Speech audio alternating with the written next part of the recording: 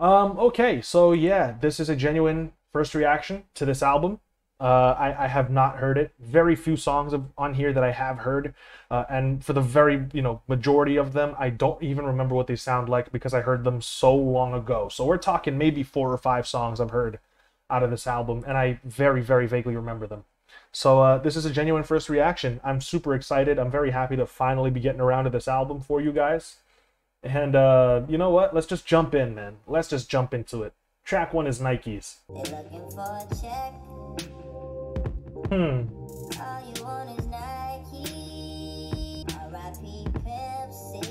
Wow. Damn. This is a trip, man. The layers, dude. Oh, I love that transition. I love his flow. Oh, bringing the drums back in, man. So sick. Yeah, that's a vibe and a half. You know, that's a great, great vibe to start this album off. I like how uh, he does that thing where he pitches his vocals up, right, a few octaves.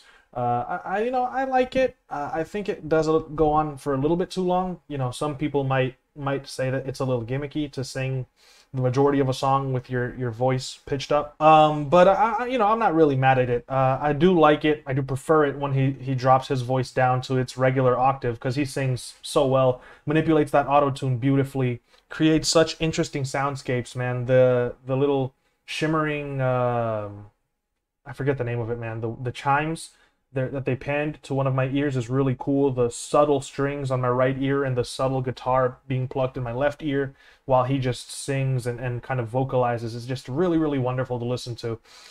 In the beginning, when they have the really, uh, you know, low key drums, just kind of like keeping that, that pulse of the song going while he sings in that, that higher pitched, you know, uh, pitched up vocals I, I like those drums. I think they're very, very cool. They're very simple. They uh, they don't overdo it. They don't distract us from everything else that's going on in the track. Very, very nice track to kind of vibe out to. Does make me want to turn the lights off and just close my eyes and, and drift. It's kind of one of those tracks. I loved it. Loved it. I didn't even think it was too long, and that's over five minutes, which is uh, pretty rare for me. So, track two, Ivy. That, that one, that one bar is familiar to me. Okay, so as I listen to this song, it's starting to come back to me. I have heard this one before, uh, vaguely familiar, but I, I, you know, I remember really liking it because of the uh, summertime kind of California-ish, you know, beach vibes with the uh, the guitars that I'm getting. That really warbly guitar sound.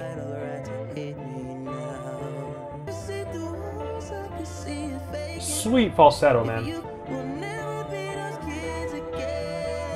Wow. That's so dreamy, dude. I love the woo. I love it. That chord progression is killer, man. This man's singing his heart out, man. Taking it up an octave, dude. Let's go. Oh, the processing on his vocals, man. Goosebumps. Goosebumps everywhere. That's a very Kanye thing to do.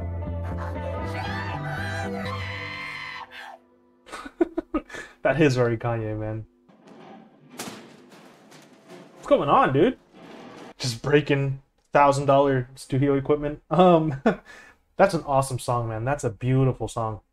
I uh, I like the weirdness at the end. I think it's cool uh, the really warbly, dreamy guitars, man. That it's hypnotizing. It's so easy to get lost in. Um, vocal performance is insane. Uh, the way he's able to go into his falsetto and then back down into his chest voice, and then he's able to hit those same notes but belting them in his chest voice.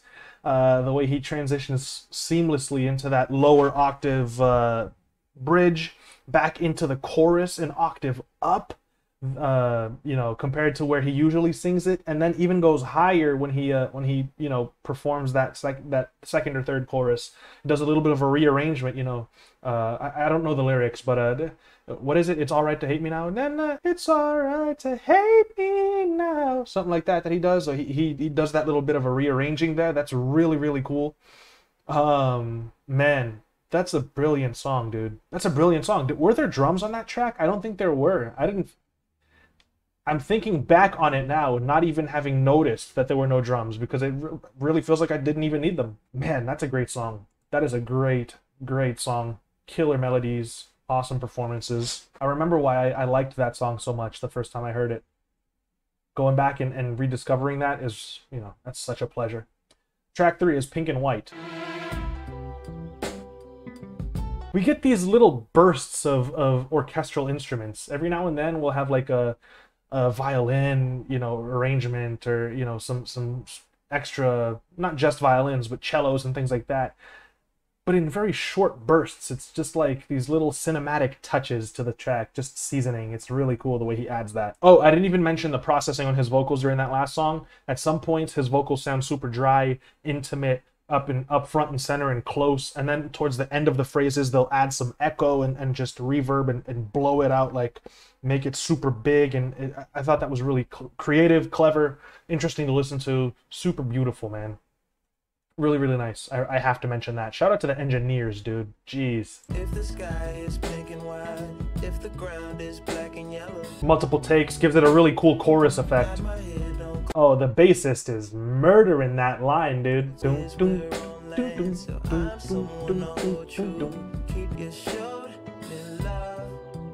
Love the pianos. Very simple, but pretty. I like the pads, too. Little bongos? How great does that acoustic guitar sound? Strings. Just building. Oh, bringing it back. Heavenly background vocals. Is that Beyonce? I'm pretty sure that is Beyonce. That voice is super familiar. Okay, man. Wow. Three for three. Coming back to it and kind of rediscovering it, just like I did with Ivy. I remember, I'm pretty sure I remember someone saying that's Beyonce in the background, man. But I, uh, I don't, I don't know for certain that that's her. But man, this one's got a really cool swing to it. You know, the little bongos coming in, the strings that build up in the middle of the track just to kind of add a little bit of attention to it. Uh, he keeps his performance very mellow and very relaxed throughout this entire track, which I, I think is great because of the really pretty, over the top uh, pianos that are playing those really cool little melodies. The bass line is killer, killer, man. Doom, doom, doom, doom.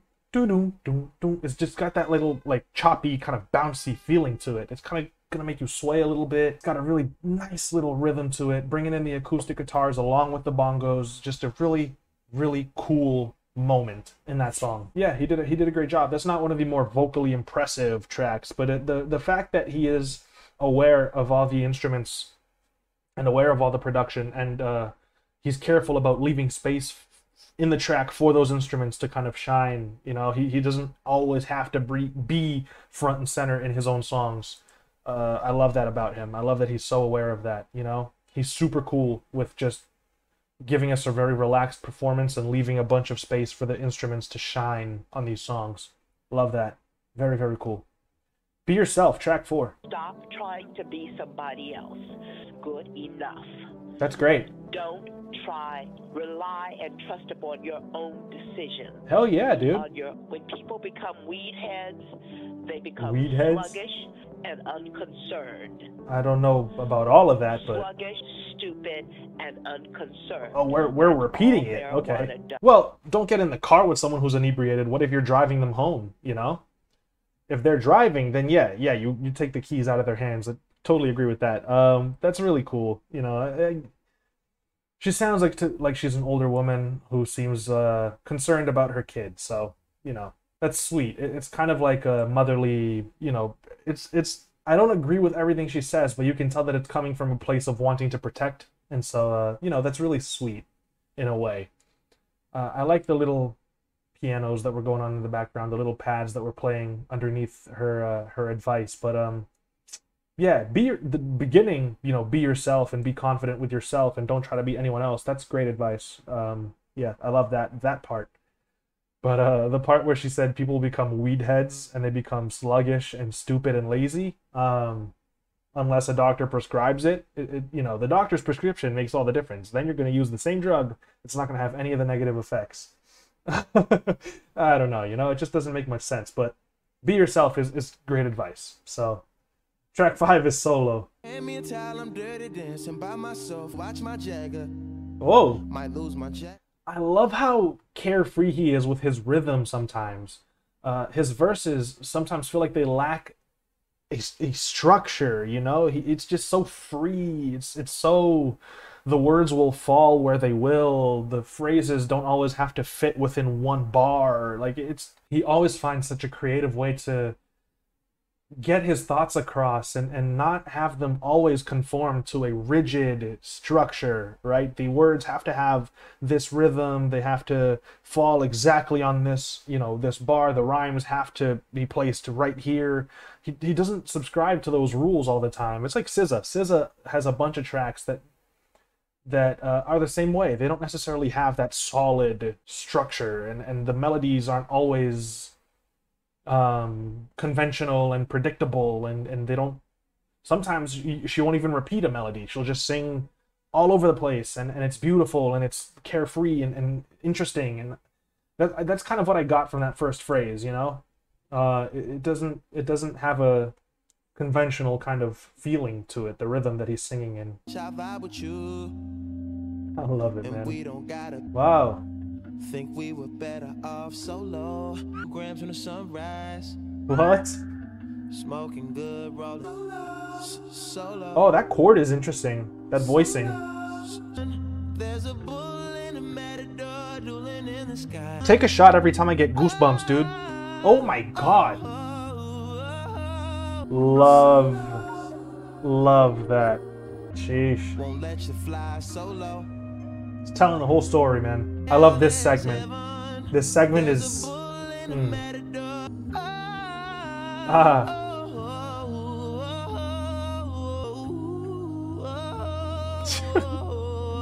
Shit, dude. That is good. Love these kind of like gospel sounding keys.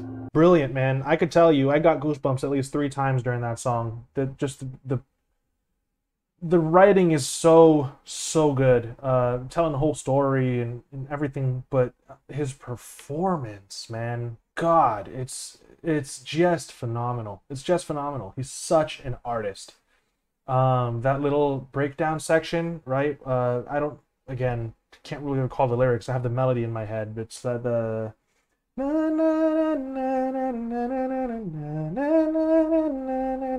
it's such a killer melody, dude. And then he just belts. He starts belting the. Uh, ah, ah, ah, it's so good.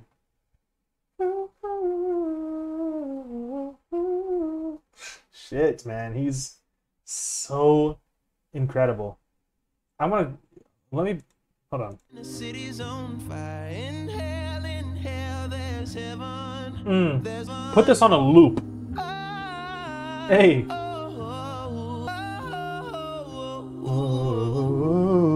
Oh, I love that little run. Man, I could I could listen to that on a loop all day. That's that's just good music, man. Um, I like solo. Needless to say. Track six is a Skyline 2. I love how he, he pans the guitar a lot to just one ear. Mm. Deer run across beams. Mm. Songs the same as far as it used to be. Wow. Hey, hey. wanna get soaked? Oh, I love that. That's such an interesting sound. Yeah, that's a really cool little vibe, man. Uh, I don't think it's as memorable as some of the, these other songs have been off my first listen. It didn't, you know, it wasn't as as a gripping as solo as Ivy, Pink and White. It just it doesn't feel like it's going to be one of those tracks that I come back to like those ones will. But um, I'm, it's not bad. It, it's just uh, it kind of feels like something you could put on in the background. It doesn't feel like something you, you actively go and, and, and seek out. Um, it's just kind of cool, you know, background music a little bit, just just some vibes. I don't think I'd skip it during a playthrough. You know, I, I would definitely let it play out. It's not one of the longer tracks; it's only three minutes long. But um, yeah, I guess that that's really the only criticism I have of it is just that I don't find it very memorable. Um, yeah, it's not bad though. Track seven, self control. Could we make it in? Do we have time? Mm. All the use of guitars. Wow. Hold on, I'm gonna replay that. Wow, I love the way he came in there. I think I have heard this one before. This is vaguely familiar. I think I heard this on a stream. I think you guys uh, asked me to listen to this one during one of the live streams, uh, and it got us taken down. it got the stream taken down. I do remember this. Um, I remember it liking it a lot.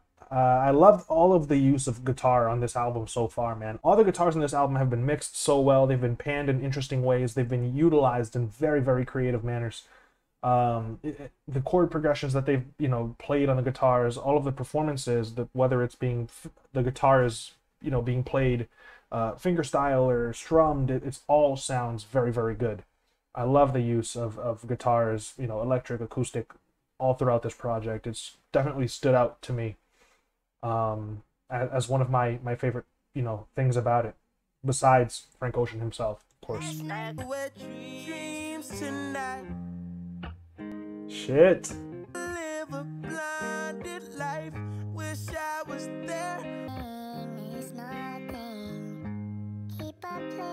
That guitar is singing, dude. Now and then you miss it. Keep a place for me, for me.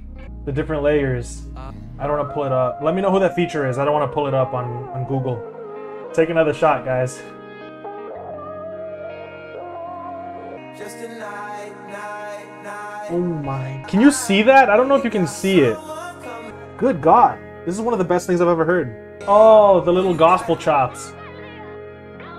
I'll tell you what, man. I think I had goosebumps there for like 45 seconds straight. Just, just couldn't get rid of them. Um, absolutely beautiful. Towards the end, towards the end, when they open up with added layers of guitars and strings, and he comes in with the really heavenly vocals and you know multiple layers of vocals. That is like the moment in this song, in my opinion. What a brilliant seven-track run, dude. Self Control is one of my favorite songs I've heard so far on this album. Track eight is Good Guy. It's only a minute long. Is this a skit? Oh, also, let me know who the feature was on Self Control, because I, I didn't want to, you know, pull it up on Google and distract myself from the song. So yeah, let me know in the comments section. First time I ever saw you is to the gay bar you took me to. His highlights when I was convinced. hearing him do those runs sped up, that's just a really cool little vibe. Yeah, I'm gonna treat that one like a skit, but I'm not mad at that. That's a dope little vibe. Uh, I kind of get you know "Fun Girl" by uh, Summer Walker kind of vibes from that one. Just just uh, him singing and the, the guitar and it's super simple. You can hear background noise and he's just kind of vibing. Uh, I like it. I like it. Really cool, short, sweet. Not mad at that. Nights. Let's go. This is gonna have the beat switch, man. I really wish that wasn't spoiled for me, but you know, people post it so much on the internet every time there's a New Year's Eve, and they they time it just right. You know, midnight and the beat switch. So No, you can't make everybody equal. Although you got buku family. hey, yeah, there's some swagger to this one. I love the call and response between the different guitars. Love the flow. I can't stop smiling. This is this is great. Oh, this is wavy. Oh my god, that's on heavy rotation playlist. This is the goosebump portion of the song.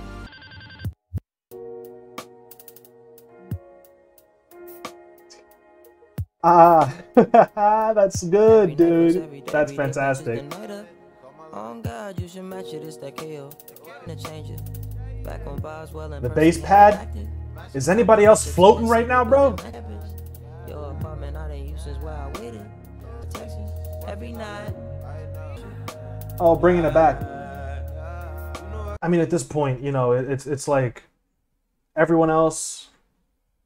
Frank Ocean is, you know, just you can't even see where he's at. He's just he's lost up there in the clouds somewhere. It's like it's how do you think of that transition, you know? And then with a completely different vibe, completely different, you know, beat, different tempo, maybe, you know, completely different vibe, and and and he manages to still make a callback to the previous part of the song to close us out. Like it's there are no words, you know? There are just no words.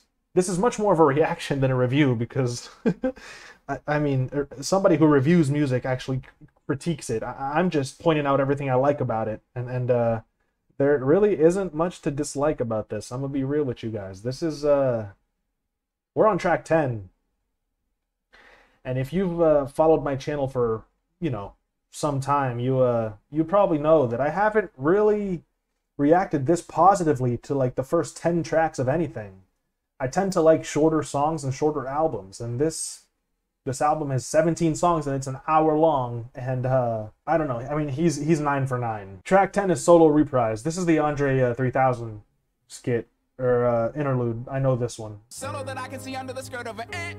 Solo that I don't get high no more when I them. Solo that I can admit. When I hear that another Love the keys. shot by the popo, So winning instead of pretending and bending over backwards. Over half of the whole had work done. Solo my halo say way low, it feel like it's been. Solo that when they throw pussy or pesos on paint, their own verses. It's coming back different and yeah, that shit hurts me. I'm humming and whistling to those not deserving. I stumbled and lived every word. yeah man three stacks is a goat you know he he's in that conversation whether you like it or not three stacks is in that conversation for goat status absolutely uh, i'm actually doing first reactions to OutKast's discography as well but uh, that's exclusive for the patrons uh, i do believe that ATLiens is the only one that i have out right now or is it Aqu- i think ATLiens is the only one out and i'm doing Aquemini uh, next. So yeah, if you're interested in that, then the the link to the Patreon's in the description. But uh, the patrons are getting exclusive first reactions to um, OutKast and their discography.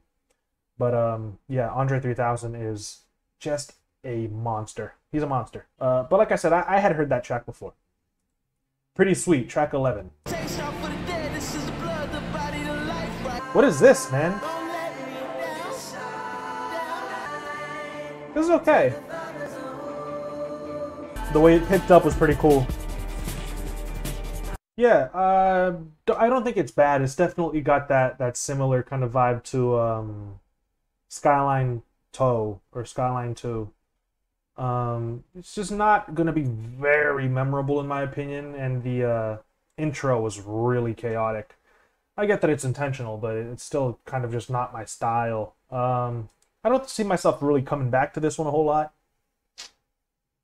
But once you get towards that middle section where things kind of get a little bit more normal, it's not bad. Pretty good. Nothing too crazy though. Track 12 is Facebook story. And I don't want it because I was uh, like in front of her, in front, accept her. She thought I was cheating. The friend request? What? Come on, you're crazy. You're better off, dude. Uh, You're better off. nothing. That is a crazy story. If that's true, uh, anybody in that situation where your partner decides to leave you because you won't add them on Facebook because they think you might be cheating on them, they leave you, you're, you're better off without them. Dude, that's crazy if that's true.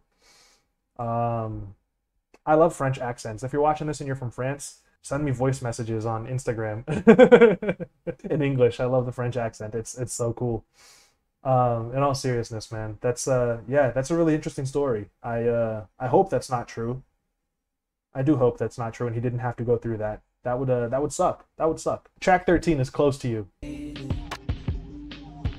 But you couldn't be one just wow. Till it's quiet to this atheist. i love this processing on the vocals. Really cool.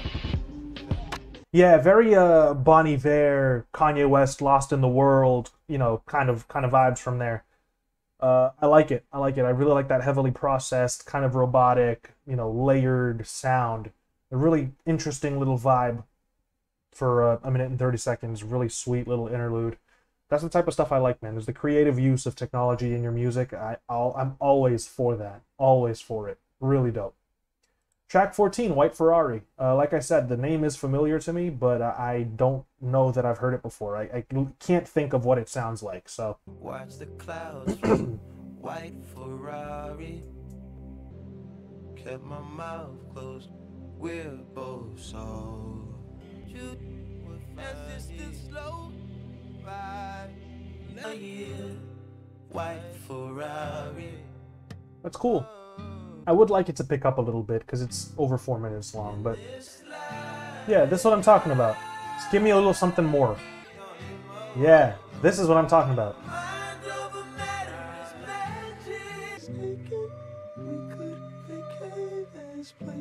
Got caught in 4K or 1080p, zoning out to this song, man. Just awesome. Um, I wasn't a huge fan of the pretty slow start. I, I do think that if if he if you don't want to change anything about the the way that it starts, just shorten it. You know, it, it doesn't need to start for for two minutes before we finally pick up a little bit. But I think that's really the only thing I'd change about it is uh, that that intro portion is is just a little too long. It uh, it only really gets piqued my interest really you know two minutes in to the track so um so so yeah uh, i think that i would just shorten that intro portion a little bit but other than that this is just a really well done beautiful beautiful song. Really really enjoyable. I had never heard it. Uh just the name was familiar but uh yeah i don't remember ever hearing that before in my life so. I think i would have remembered that one how slow it starts. Uh track 15 Seigfried. Markings on your surface. I can't relate to my peers. nice. Maybe I should move and settle love the way the bass came in Maybe I should move, settle down. Farewell to friend. gorgeous cinematic opulent i love it super lavish man Off the moon. in the dark. In the dark. Yeah, that's a really slow song, but uh, it, it's interesting in a way that the intro portion to White Ferrari isn't, in my opinion. Uh, it's still gripping. It still has enough going on in it where I'm, you know, interested and invested in it for five and a half minutes. Uh, the strings that come in are so cinematic. They really feel like you're in a uh, a movie, like a super fancy kind of romance. You know, super uh, old school long flowing ballroom dresses kind of. That's what i think of when i hear those violins you know what i mean? Just just super super uh lavish. Like it's just it's just full. It's just rich you know? That's really the way to describe it in my opinion. Um frank ocean is just a master of not overdoing things you know just just doesn't overdo it with his vocals, doesn't overdo it with his production, doesn't overpower or overwhelm you at any point. Just just a wonderful track for you to just coast as you listen to it, you know? Just, just get lost in your own thoughts. Put this on and just drift, man. It's brilliant. It's it's really good. Godspeed, second to last song. How I do, Hmm. just a sweet word. Oh, some more gospel chords here. Spicy. Wishing there would be mountains you Oh, yeah, boy. Let's go. still I'll always be there for reversed choir sounds, choir vocals. let go of my claim on you. Gorgeous. Mm-hmm. Woo! Oh man. Love these notes she's hitting. Yeah, man. Talk about a really dope little quick, romantic, warm, you know, gospelish kind of vibe, man. God, that's that's awesome. That's awesome. That's an awesome song. I added that one to my playlist, man. The Patreon playlist. Uh, that is that is just a fantastic track. I love that. Short, sweet. Ah, and the the feature. Who was that singing at the end? Please let me know. So beautiful. Futura, free. Nine and a half minutes long. As long as I can fuck three times a day and not skip a meal, I'm good. I should Mm. be paying them. I should be paying y'all honest. Galaxy. Takes a lot of honesty. Fuck these lanes, don't want none. Drastically. Yeah. I ain't on no schedule. You say I'm changing up. I feel like Selena. What a difference this is making. Niggas won't fight in the streets now. Shit starting to make I like this beat. track beats. That's the only I'm not sure that I understand the second half of that track Uh, a lot of it was really tough to understand because of the quality of the audio. A lot of it was just really, you know, unintelligible.